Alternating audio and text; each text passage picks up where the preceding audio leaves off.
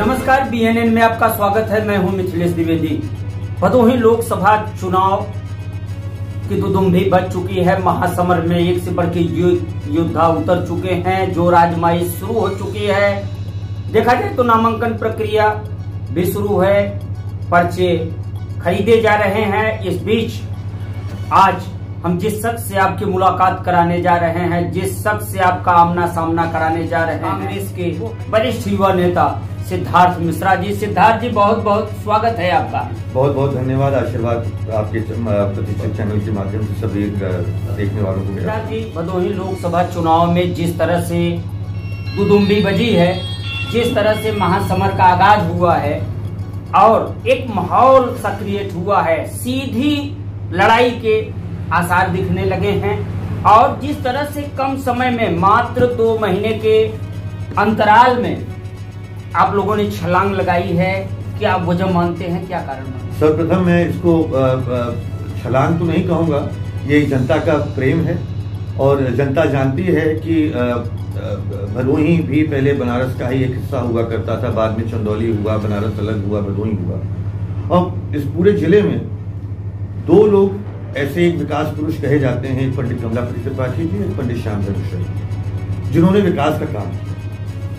अब अगर मैं इस इस, इस लोकसभा क्षेत्र या इस मंडल की बात करूँ और विकास की बात करूँ और फैक्ट्रियों की बात करूँ तो डाला चौपन चौक में सीमेंट फैक्ट्री लगाई हमारे ही परिवार ने हमारे ही शासनकाल कांग्रेस की सरकार फिर उसके बाद आगे बढ़े तो हिंडाल्को में फैक्ट्री लगी। इंदिरा मिल बना भदोही में।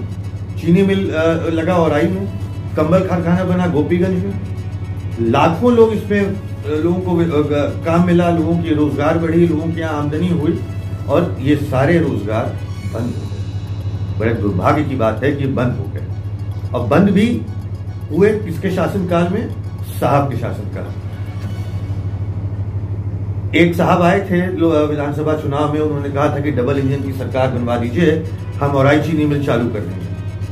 आज डबल इंजन की सरकार भी बन गई लोगों ने बनवा दिया और औराई चीनी मिल अभी भी दुख के यहाँ शुरू हो रही है। मुझे बड़ा दुर्भाग्य महसूस होता है उन लोगों के लिए जो लोग वहाँ का व्यवसाय करते थे जो जिनकी वहाँ से रोजी रोटी लोकसभा क्षेत्र में क्या होने वाला है? क्या महसूस कर रहे हैं कि ये लड़ाई कहाँ तक पहुँचने वाली है? भैया ईश्वर का साथ रहा और जनता का प्रेम रहा जो कि आज तक बरकरार है।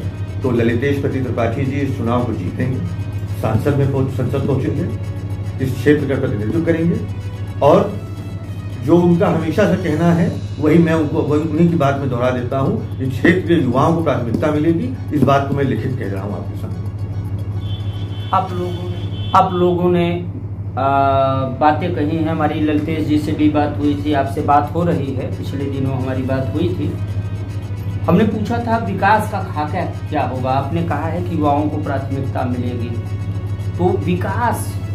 क्योंकि ये जो जो दोनों नाम आपने लिया है कि पंडित कमलापत त्रिपाठी जी और पंडित श्यामधर मिश्रा जी इन दोनों का जब नाम आता है या कोई नाम लेता है तो विकास का पर्याय अपने आप जुड़ जाता है। तो क्या माना जाए कि ललितेश जी भदोही के विकास के लिए युवाओं को लेकर क्या खाका युवाओं की प्राथमिकता तो सर्वप्रथम है।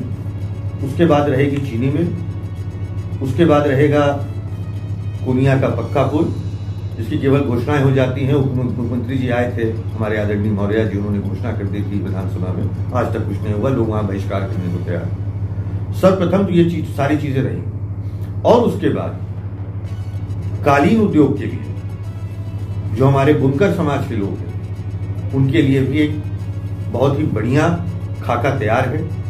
वो चुनाव के बाद, जीतने के बाद, वो सौ दिन के अंदर आपके सामने आ जाएगा। तो ये थे सिद्धार्थ मिश्रा जी, जिन्होंने विकास समेत ललतेश जी की भावी योजनाओं के बारे में बात की है, कहा है कि इनकी जीत के साथ जो पंडित श्याम धर मिश्रा और पंडित कमलापत त्रिपाठी जिसके लिए जाने जाते हैं, जो विकास का पर्याय, ये परिवार रहा है, उस कड़ी को ललतेश पति आगे पढ़ाएँगे। चलते चलाते सिद्धार्थ जी एक आखिरी सवाल करते हैं आपसे।